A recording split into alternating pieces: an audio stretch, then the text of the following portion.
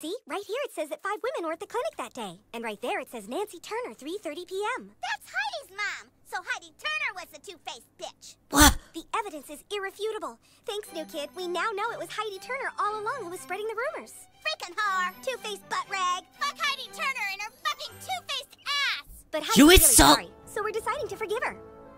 I love you guys so much. We love you too, Heidi. Yay! Yay, Okay, Well, good.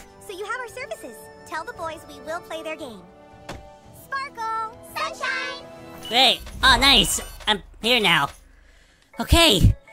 I was gonna say, if you insulted her one more time, I'm gonna freaking go do Sam!